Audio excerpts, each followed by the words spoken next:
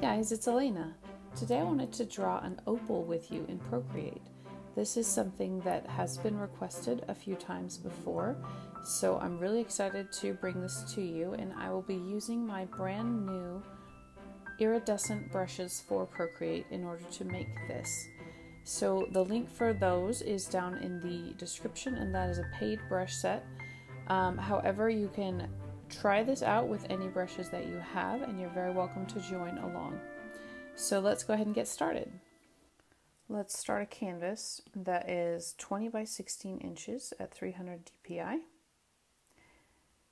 And this first layer here is going to be our opal shape layer, so I'm just going to go ahead and rename that.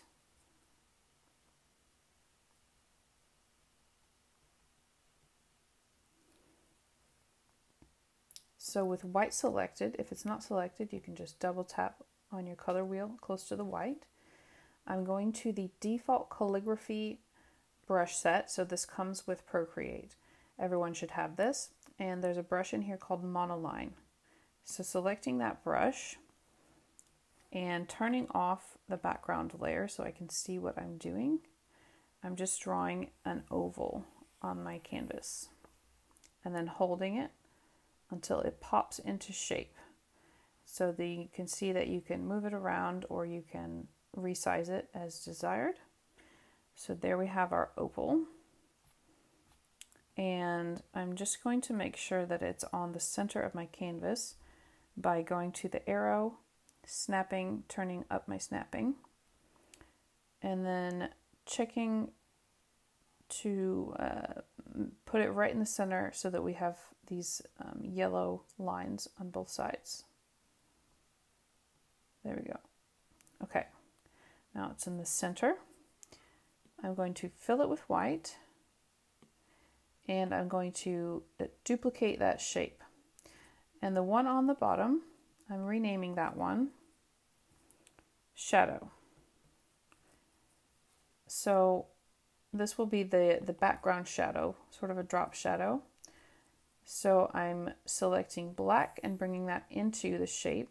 And you can't see it because it's covered by the white, but there it is there. Oops. There it is there. There we go on the shadow layer. So adjustments, Gaussian blur, layer. And then our drop shadow starts to appear. I'm happy with it at about 23%. And now I'm going to tap the arrow and then tap over on the side just a little bit to move the shadow ever so slightly to the left so that it looks like the light source is over on the right side. And now I am going to my shadow layer, hitting the N and taking the opacity down to about halfway. Okay, so now over top of the oval shape, I'm adding a new layer and I'm naming it color background.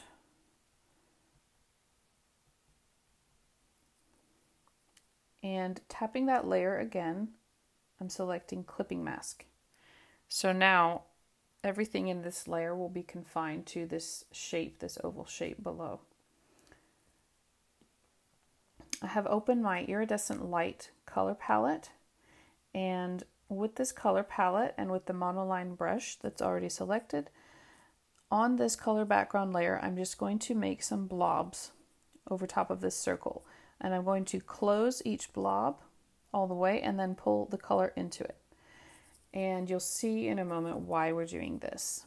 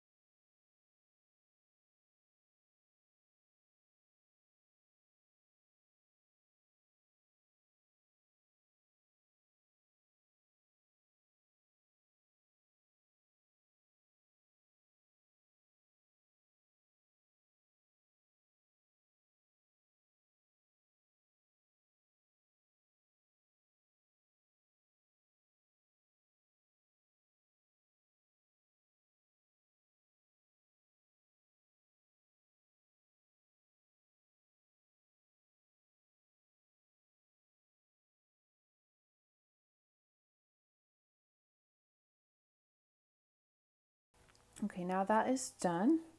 I'm going to my adjustments, Gaussian blur layer again, and I'm sliding that most of the way up so that we just have a blur of color. So this will be the background so that whatever peeks through behind the colors that we're going to add now will also be multicolored. So over top of that, we're adding a new layer and making that into a clipping mask as well. And I will rename that iridescent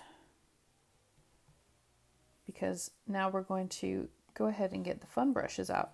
So included in the iridescent brush pack are the AJ Iridescent and AJ Holographic. And they are the same brushes pretty much except that they are um, you know the holographic is has a more a higher spectrum of color including most of the colors in the rainbow whereas the iridescent focuses mostly on one certain color so for the opal i'm just going to mostly be using the holographic brushes so i'm just going to try out some different brushes and with these brushes I'll make sure to put the name on the screen and I'll just start making a couple of blobs and then I'll fill in the cracks between them later.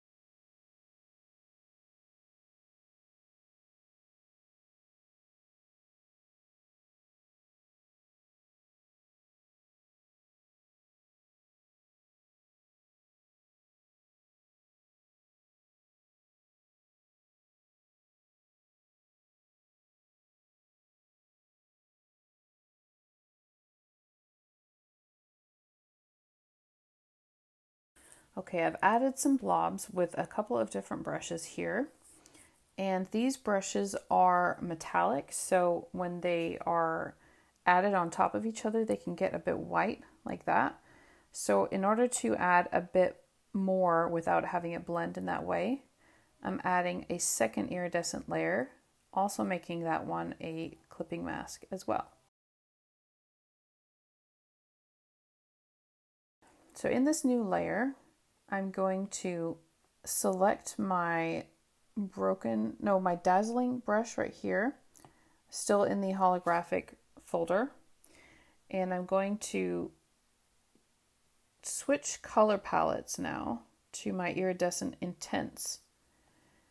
And I'm going to start making some lines around what I've done here.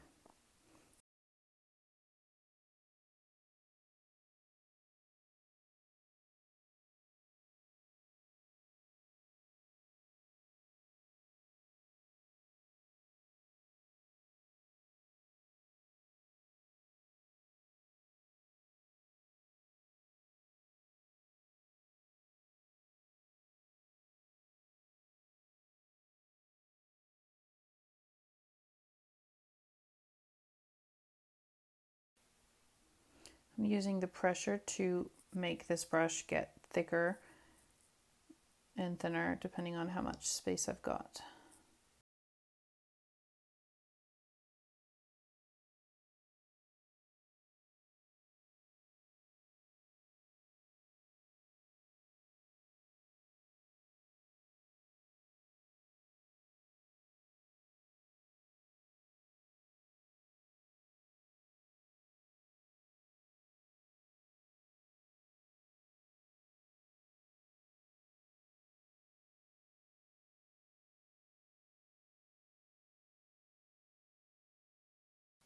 I'm not closing all the gaps between different blobs. I'm just kind of checking to see what what I feel like would look best.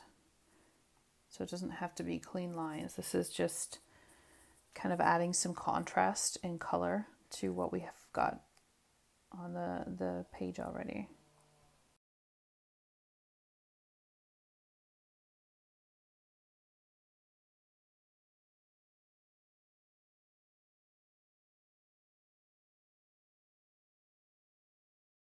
And now I wanted to add some contrasting lines in a different brush. So I'm adding another layer so that we don't interfere with what's already there, turning that into a clipping mask as well. Iridescent 3. So the other brush I wanted to try is called Prismatic. And I'm just going to keep that green color selected and add some more layers on top of this.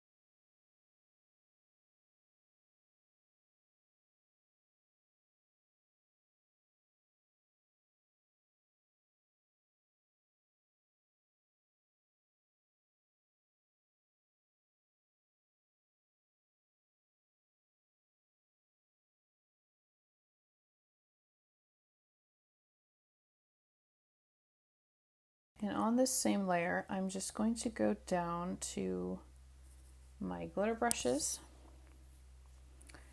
and selecting glitter flakes number three in that same green. I'm just adding a couple more glitter flakes.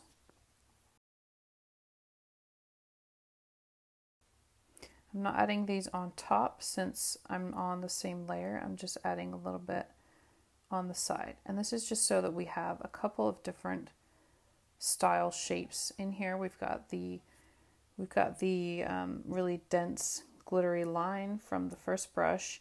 We've got the prisms and I just wanted to add some flakes as well.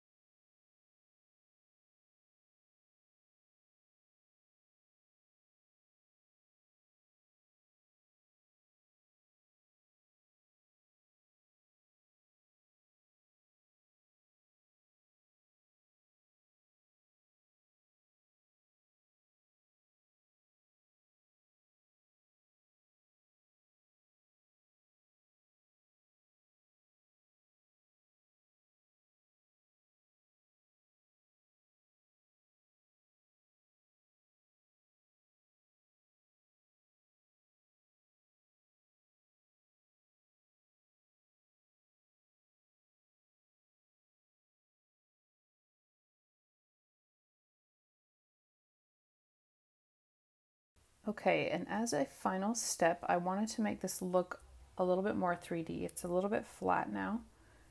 So on top of everything, again as a clipping mask, I'm going to take black and I'm changing this new layer. This will be the top shadow. And I'm going to change the blend mode by tapping this N. I'm changing it to vivid light. So now I'm going to the airbrushing brushes, which are again default brushes in Procreate, and choosing the soft brush with the opacity way down to about 15. I'm just going to very gently start to add a little bit of shadow around the edges here.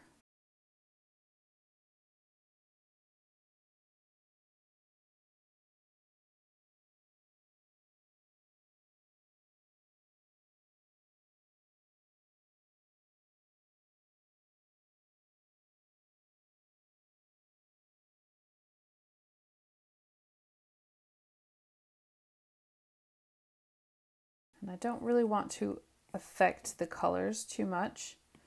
So I'm just going to this layer that I've just created, tapping that VI for vivid light. I'm bringing the opacity down a bit so that this effect, I'm bringing it down about halfway. So this effect is very subtle and doesn't super affect those colors, but still gives it a slightly 3D look. You can see the difference here. So that was our opal. I hope that you enjoyed watching this tutorial as much as I have enjoyed making it. And I hope that you are able to go and make something similar for yourself now. And please consider subscribing if you would like to see more videos like this. And I will see you next time.